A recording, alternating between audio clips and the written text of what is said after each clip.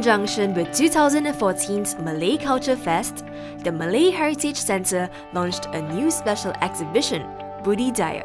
The exhibition bridges the traditional and contemporary in its exploration of Malay cultures, ideals, and values. Artifacts and artworks featured portray the intellectual and passionate facets that are innate to the Malay cultural aesthetics.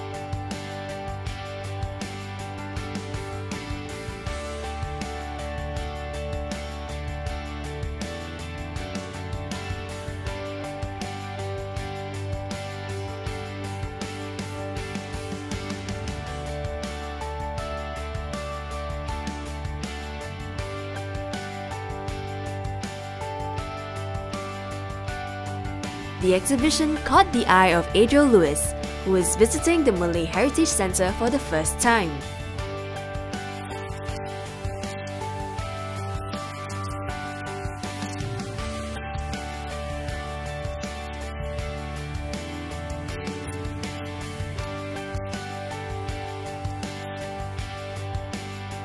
Multi-layered exhibition also extends the notions of Malay and Malayness by showcasing performances and special programs by artists from around the region.